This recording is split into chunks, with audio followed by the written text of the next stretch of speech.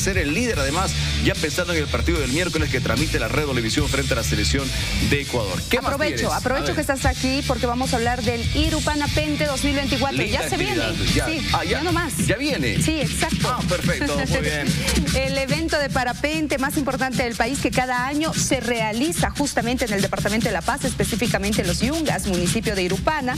Atentos porque este año se realizará el 12, 13 y 14 de julio. El evento se ha ido internacionalizando a lo largo del tiempo y ahora contará con la presencia de pilotos de distintos países, entre ellos, ojo, ¿ah? llegarán de Chile, de Perú, de Venezuela, de Colombia, de Brasil, pilotos europeos y por supuesto los bolivianos, cochabambinos, cruceños, orureños, por supuesto los paseños, ¿no? Recordamos las fechas, por favor.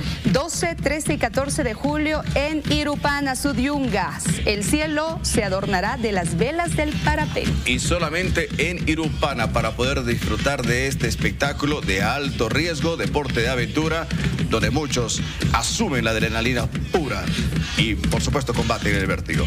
Bueno, nos vamos a ver más tarde, Vania, ¿sí? Muy bien, estaré atenta ahora a una pausa.